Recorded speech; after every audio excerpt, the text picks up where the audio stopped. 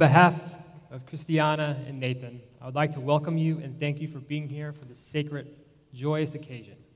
They are honored to have you celebrate this day with them.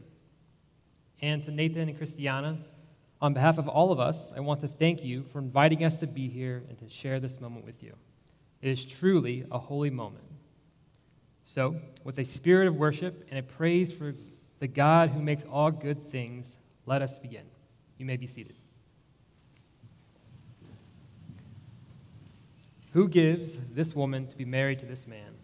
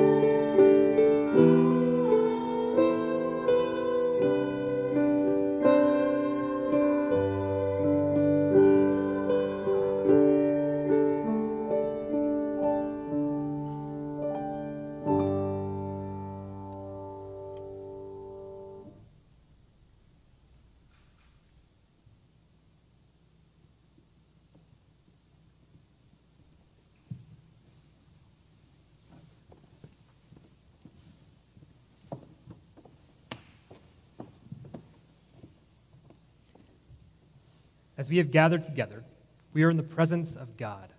Let us give thanks to God for these two individuals and for the good gift of marriage.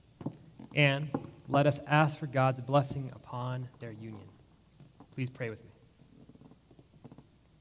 Gracious God, you are always faithful in your love for us.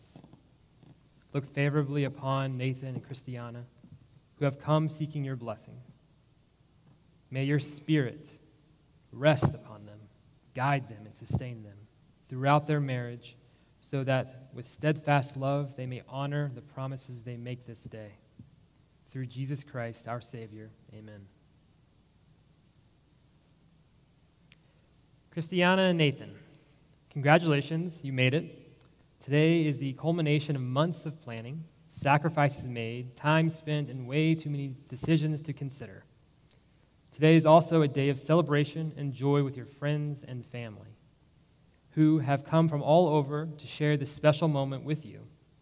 It is a day of resolution and deep, enduring commitment. And certainly, it is a day that you will never forget. For that reason, I want to encourage you right now to take a moment to look around at all the beauty that's around you and breathe. Soak it all in. It is impossible to sum up what you two are doing today with words. All the symbolism, meaning, and beauty cannot easily be captured. But what is at the foundation of everything that is happening here today is the promise or covenant that you two are making with one another. Love is a funny word in English. We use the word when we talk about our love for a sports team or a favorite dessert. We use the word love when we talk about our family members and the love and bond we have with friends. We are also most familiar with the love in terms of romance and passion. So when we say love in English, it can have a variety of meanings, and we need to use our context to understand what one is saying. The ancient Greeks did not have this problem, for they had four different words to describe the different types of love. And when we read 1 Corinthians 13, 4 through 7, we might assume it is referring to a romantic love. We hear this passage used in weddings often. And there was a reason why this passage was selected for today. It is a beautiful text, but it is not talking about a romantic love, not, at least not exactly. No, Paul is talking about a form of love that enhances romantic love. So, with this, let us read from 1 Corinthians 13 4 through 7. Love is patient, love is kind, love is not envious or boastful or arrogant or rude. It does not insist on its own way. It is not irritable. It keeps no records of wrong. It does not rejoice in wrongdoing, but rejoices in the truth. It bears all things, believes all things, hopes all things, and endures all things. What we must realize about this passage is that it is not an isolated poem. While it is beautiful and can be understood on its own, it takes on a much greater depth when we put it in its context. This passage takes place in the middle of the letter to the church in Corinth. This church that Paul founded was dealing with disputes that was leading to broken relationships. And Paul wrote this letter to help bring this expression of the church, this expression of Christ, back into unity. Paul wants to make clear that everyone knows that they are one in the Messiah, one in Christ. So when we get to this passage, Paul is asking the church in Corinth and all of us here today to pause, to move into a different key and rhythm, and deepen our understanding of the highest virtue, the greatest quality, the most Jesus like characteristic you can imagine, and that is love. Now, as I mentioned earlier, Paul's not necessarily talking about romantic love because romantic love can only get us so far. It can't sustain our relationships on its own because romantic love and passion can be fleeting. Romance and passion does have its place. That's what brought us here together. You two have had a fire in your hearts and brought you to this altar. But the love of Paul, what the love Paul's referring to, is a deeper form of love that romance is sustained by, that is enhanced by.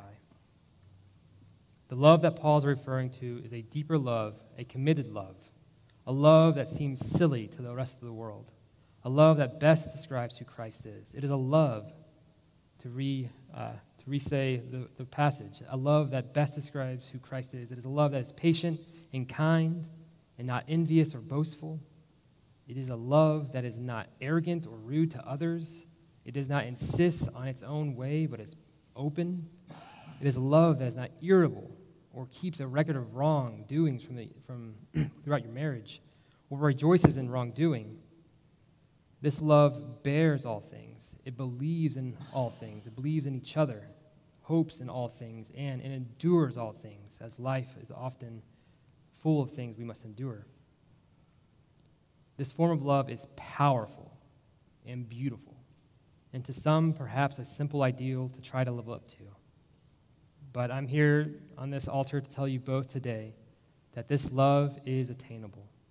It is through Jesus that your commitments and vows that you make to each other today will be, be sustained by love. Nathan and Christianna, take this passage as a guide on how to best love each other. Come back to it often, read it slowly, meditate on a single word for days or maybe weeks. Let this passage wash over you both. In doing so, it'll transform your marriage into a radical expression of love. Your marriage will overflow with the love of Christ, and it'll overflow to others. It'll be a beacon for others. And so, with that, we begin the exchange of vows. Dearly beloved, we are gathered together here in the sight of God to join this man and this woman in holy matrimony, which is commended of Paul to be honorable among all people, and therefore is not to be entered into unadvisedly or lightly, but reverently, discreetly, advisedly, and in the fear of God. Into this holy estate, these two persons come now to be joined. Nathan, do you take Christianna to be your wedded wife? to live together after God's ordinance and the holy estate of matrimony? Do you promise to love her, comfort her, honor and keep her in sickness and in health, and forsaking all others? Keep yourself only unto her as long as you both shall live. Christianna, do you take Nathan to be your wedded husband, to live together after God's ordinance and the holy estate of matrimony? Do you promise to love him, comfort him, honor and keep him in sickness and in health, and forsaking all others? Keep yourself only unto him as long as you both shall live. I do. Nathan, please repeat after me. I take you, Christianna, to be my wedded wife. I take you, Christianna, to be my wedded wife. To have and to hold from this day forward. To have and to hold from this day forward. For better, for worse, for better, for worse. For richer, for poorer, for richer, for poorer, in sickness and in health, in sickness and in health, to love and to cherish, to love and to cherish, till death do us part, till death do us part, according to God's holy ordinance. According to God's holy ordinance, I give you my word. I give you my word. Christianna, please repeat after me. I take you, Nathan, to be my wedded husband. to have and to hold from this day forward. For better, for worse. For better or for worse. For richer, for poorer. For richer or poorer. In sickness and in health. In sickness and in health. To love and to cherish. Till death do us part. Do us part. According to God's holy ordinance. According to God's holy ordinance. I give you my word. I give you my word. Now I have the rings, please.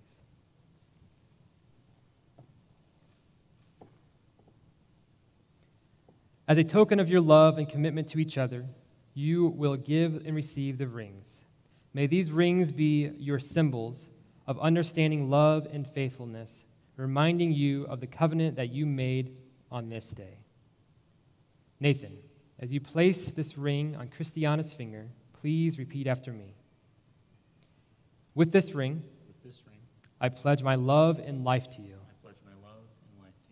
In the name of the Father, and of the Son, and of the, Son, and of the Spirit. And of the Spirit. Amen. Amen. Christianna, as you place this ring on Nathan's finger, please repeat after me. With this ring, With this ring I pledge my love and life to you. I pledge my love and life to you. In the name of the Father, In the name of the Father, and of the Son, and of the Son, and of the Spirit. and of the Spirit. Amen. Amen. Christianna and Nathan, the two separate candles here symbolize your separate lives, separate families, separate sets of friends. In other words, your lives before today. Lighting the center candle represents that you two lives are now being joined together as one. Please uh, pick up the candles, light the center.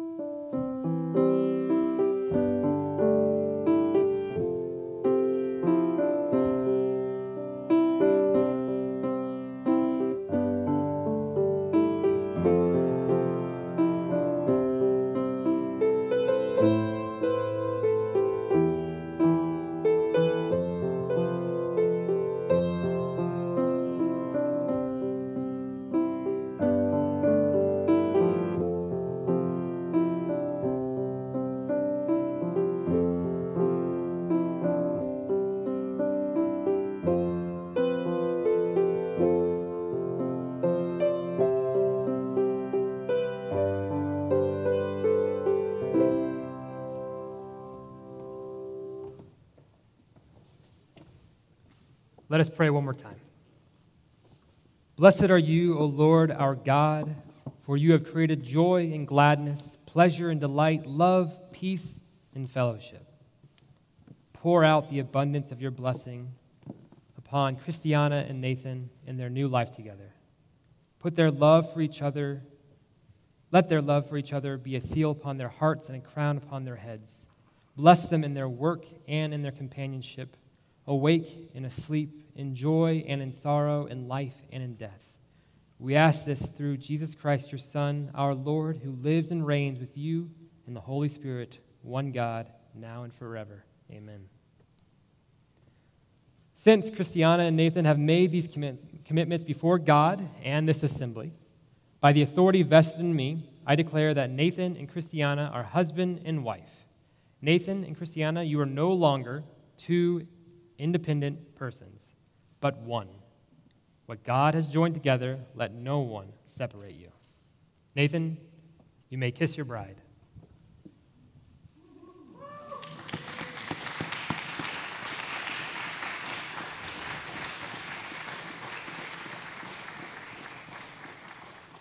Ladies and gentlemen, it is my privilege to present to you for the very first time Nathan and Christianna Elmore.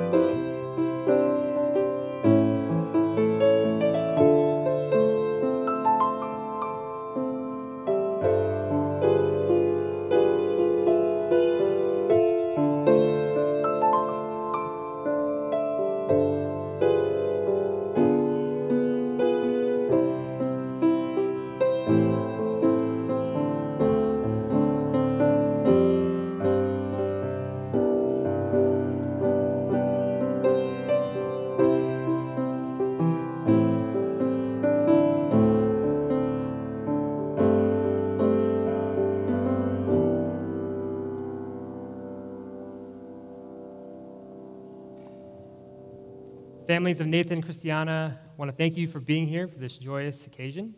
There is a reception to follow at Alpine Parks and Gardens. We ask that you please remain seated, and Benjamin will come here releasing you by row. Uh, and with that, thank you.